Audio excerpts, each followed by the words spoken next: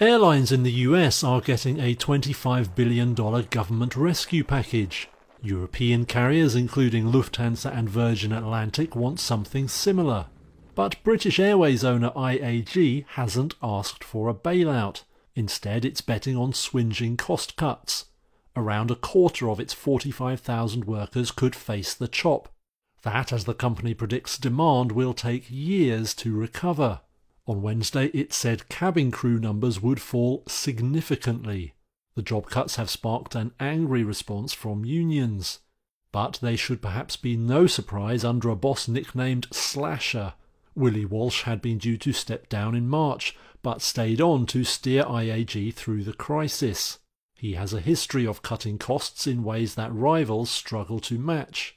Now he bets IAG can emerge from this crisis free from the government meddling that could affect competitors.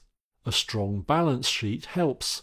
IAG has almost 10 billion euros on hand, around twice Lufthansa's liquidity. One other European airline is sounding bullish though. When lockdowns are lifted, Ryanair says there will be a vicious price war, which it expects to win but a leaner looking British Airways may still be in the fight.